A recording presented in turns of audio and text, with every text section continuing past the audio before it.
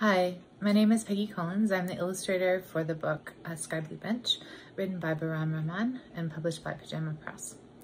Um, this book was a real, ch real challenge for me. Uh, I, I fell in love with Aria the first minute I read the script um, and was so excited and honored to do this book.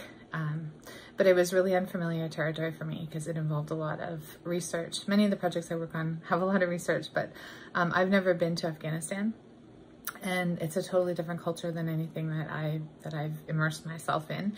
And it required a lot of uh, digging deep into um, the ideas that like some of the preconceived notions I had, um, I needed to get past. And I also needed to be able to find something really positive um, about this because this is a story of hope.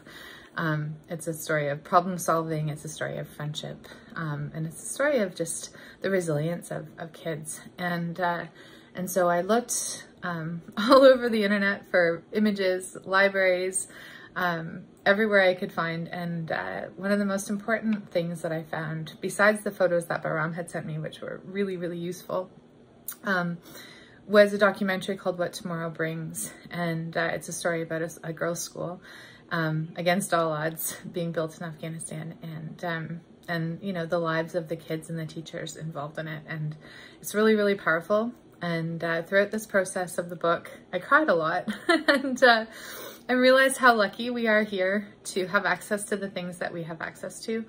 Um, the woman who runs the school had to test the water every morning by drinking it to make sure it was safe for the kids. And that um, that really hit home as a mom, as a teacher, um, as all, all the things that that really stuck with me. So it was a tremendous honor to, to do this book and I hope you like it.